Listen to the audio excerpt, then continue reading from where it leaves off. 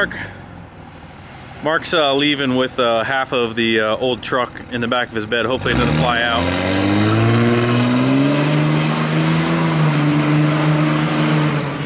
Look at that, look at that sexy beast on stock wheels. Look at that thing. Well guys, good afternoon. Welcome to the video today. Um, we had plans of getting a lot of stuff done, but it's just, it's too fun hanging out with your friends. Uh, Mark and his buddy John, um, who I just met, uh, came by and we got the cab off and then we just started talking and now it's holy it's already 315 so uh, but we did get the uh, cab off the new plan uh, we were trying to work through the the whole orchestra of getting the cab to mark, getting the frame kind of painted and sandblasted where we so it's so the new plan is you don't care about the old plans.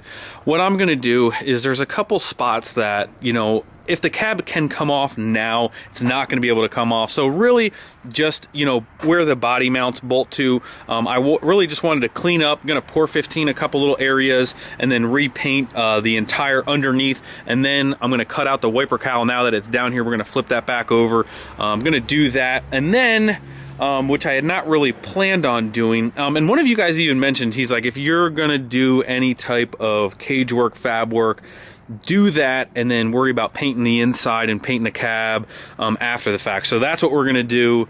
Thank you whoever commented that. So me and Mark were just kind of like, you know what, Let, let's just get the, the, the chassis, the fab work done, and then we'll work around the cage and paint, you know, everything else. But the one thing we cannot get to is underneath. So we're gonna do that now.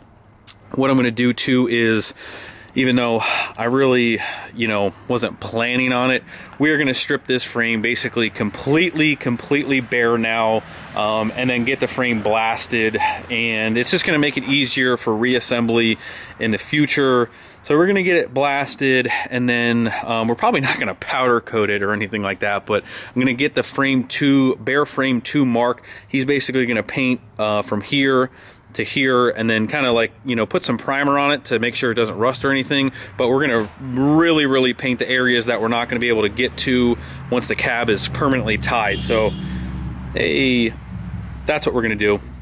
That's the plan. So now the truck needs to get broken down even further but I mean, hey, we're here now. We might as well do it. Um, it's actually it's actually a very very beautiful day. I think it's up to like 50 degrees, but um, did actually take the first gen out for a little test drive. Um, I think what we're gonna do now, we're gonna go for a little test drive in the first gen because it's ready to go.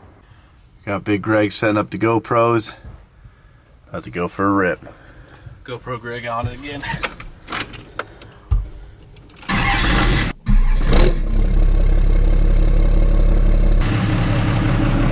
Oh, you didn't even get the start up. The GoPro got the start up. Turn it back off. Oh, All right. Go, GoPro got You gotta, you gotta, you gotta, you gotta film the shifter so they can see the shifter in action. First gear. Safety first. belted. Locked in, ready to go. Here we go.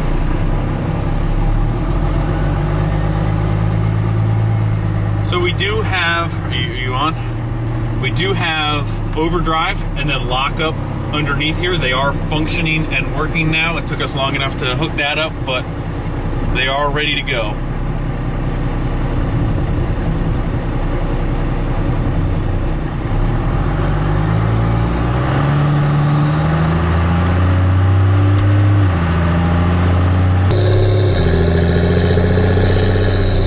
So what I've kind of noticed is downshifting into first, it's really harsh, and I don't think it really is necessary.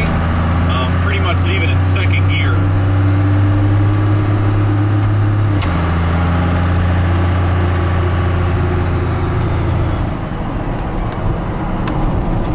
So like if you're gonna come to a complete stop, back in first gear.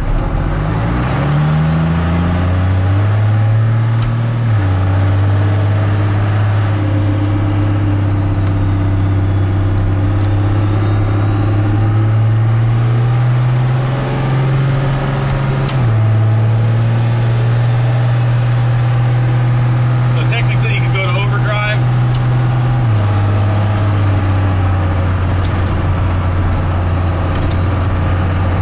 If you want it off overdrive,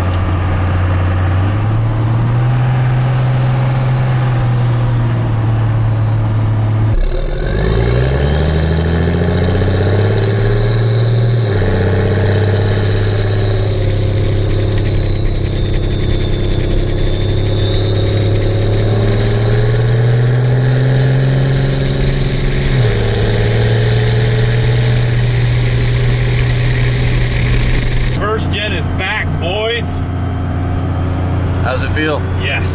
We are back up to 50% of the trucks in the driveway running again.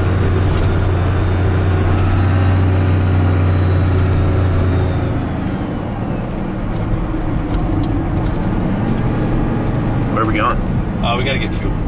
We our, our fuel gauge is reading zero. Hopefully we make it, boys.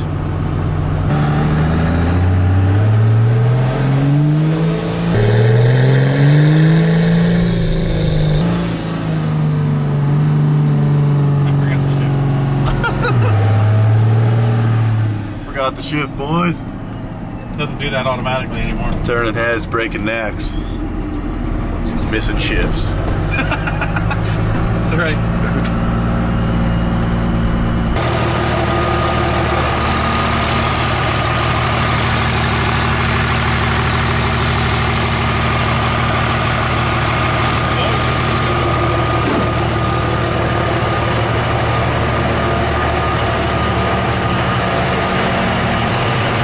We forgot to put the filler in. Shit. Filler neck delete. We forgot to hook that back up when we put the bed back on. Whoops.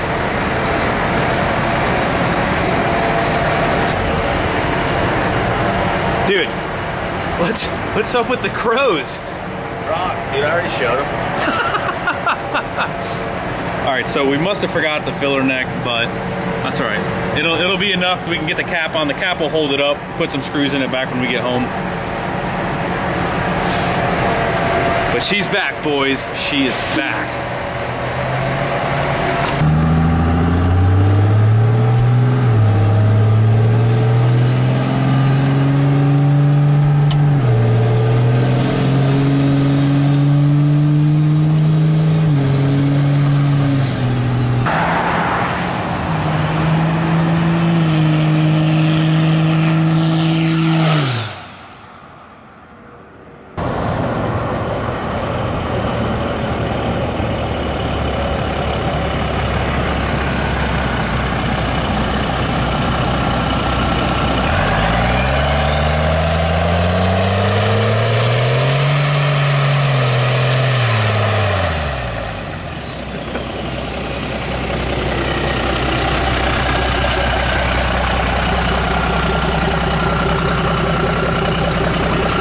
My foot slip? What? Did my foot slip? Need some gauges to see what she's doing though. You know, I don't know like what kind of boost it's making or anything else like that. So first time we're really driving it with this whole entire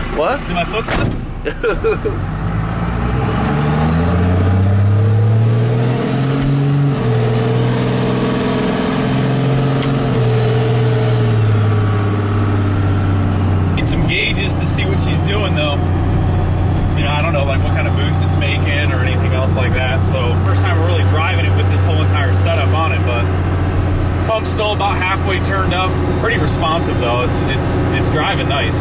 The steer wheel's a little off, which it was perfectly fine before.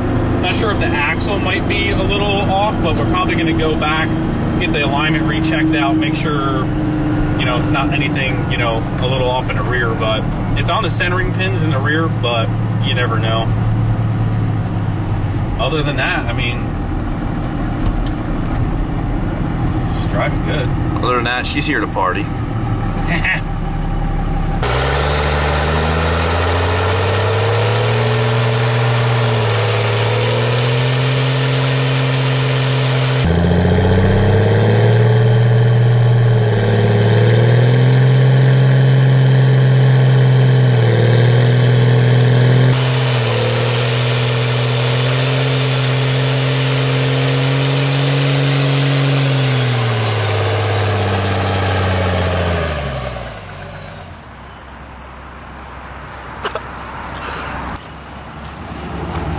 Yeah, gives us the thumbs up. Yeah, send it.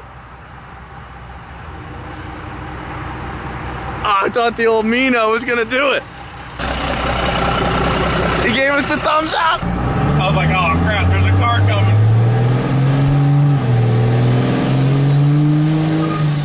Oh yeah, I got him loose there a little bit. Still stand behind the theory of it, this is this shifting is not bad. I don't really mind it. Whether I would get tired of it on a day-to-day basis, in my opinion, I don't know. I might. What do you What do you think, Andy? I thought you were gonna. You were just about saying you stand behind a theory. What was the theory? That it might be annoying, Like that as this, opposed that to this an automatic. yes, that this shifting might get a little annoying on a daily basis. Yeah, I guess if it was your absolute daily driver.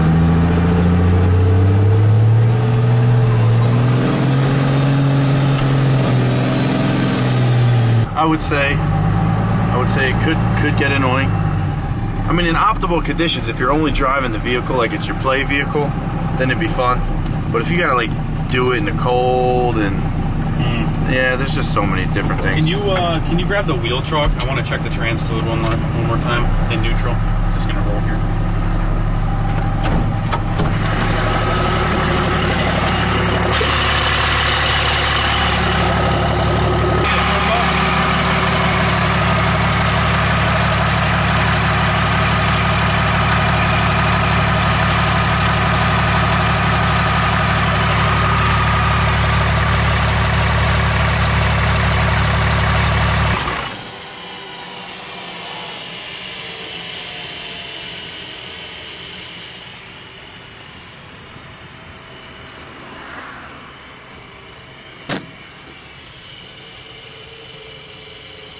So I think what's happening is, and I'll go inside and grab the piece.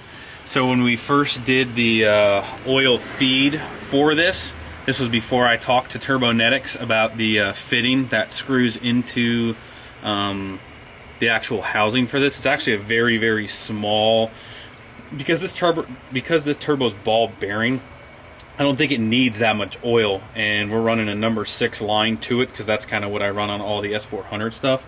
So I think it's just liter. I think it's just getting too much oil. So I have the fitting from Turbonetics, so we'll end up changing that out to a dash four line. I put a dash six line is because I had the metric thread to go into the filter housing, and I and I pretty much had all of this stuff.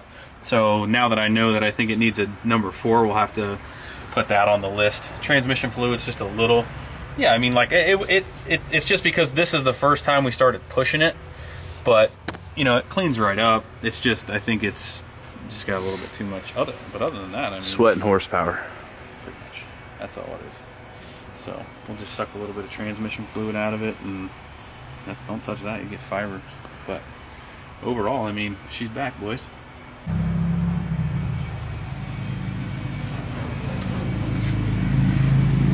Oh, you wiped it all off. Oh yeah. What? What? What burnout, officer? Gotta clean that up. No burnouts here, buddy. Whew. Now I speak from experience. You don't want to let this stuff sit because it will become one. With the Gen 1. Yep. So, fine, fine, fine tweaking needs to happen, but overall, Overall, she a bad girl.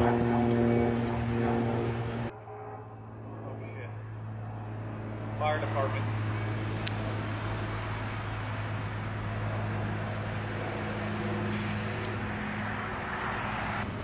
Dude, I think the fire department. Oh shit.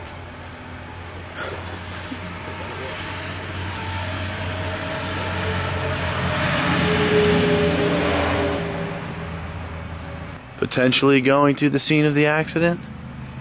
Uh, yep. Oh, they're gigging heavy up there. I think uh, I think we might have had a little bit of too much white smoke, and that. Uh, In the wrong locale. I, I mean, I don't see how they're seeing the smoke all the way from Mexico, but See what happens here momentarily. Stand by. everybody go inside. well, we just tried spending the last hour so cleaning up this mess outside and cleaning the rest of the rubber off the side of the first gen. The the one side just wiped right off. The other side literally started to like I said melt and really had to try and get that off. So got that off, no big deal. We are now going to Oh, maybe try and focus on cleaning this up. Who knows? The day the day has escaped us once again, boys. We are now switching gears. And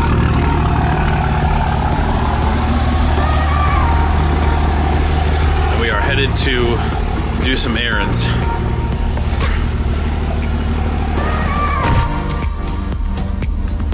Cool. A little monster action going on.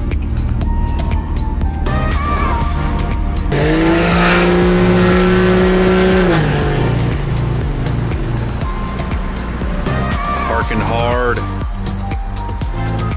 First stop, Staples. What are we getting? Getting some ink. Ink. Yep. You know what kind? Yes. Are you recording? Yes.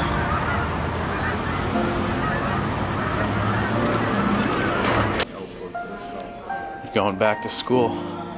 Look at this place. It's cleaned out. I don't even know where it is though. Andy, what are you doing? Does that say John Doctor? My name is John. Oh crap. This is poop. Is that cow taking a poop? This is Cal Marrow. Look at that's a pretty good cow. You drew that? Oh, this is his parachute. This is a crappy parachute. That looks like he just took a big fart. he just pooped out a parachute. My name is John Doctor. And this is my poop shoot. All right, we got what we came for. We had to get some ink. All the boxes that the Wrenchworkz boxes go out. We need. I hand stamp every single one. We ran out of ink. Second stop, Lowe's. These these stores are popping right now. All right, Lowe's success. Back back home we go. You guys are going along everywhere with us today. Leave a comment below if you guys want to see everywhere we go and everything we do.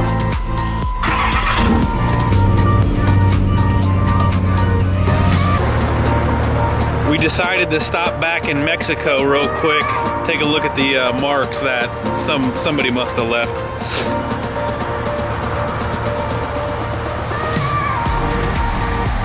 Oh, you can't see it from this angle. Nothing too impressive. I saw that car coming. I didn't. I, well, somebody somebody saw a car coming. They had to let out, but not bad. All right, now now we're going back home.